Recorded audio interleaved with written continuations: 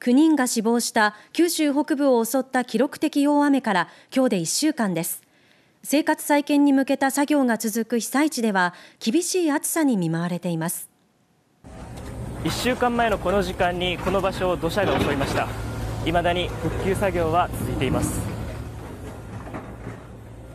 九州北部では今月10日線状降水帯が発生し福岡と大分では大雨特別警報が出されました24時間雨量が観測史上最多を記録した福岡県久留米市では田主丸町で土石流が発生し1人が死亡。1週間経った今日も流れてきた土砂や木々の撤去作業が進められています。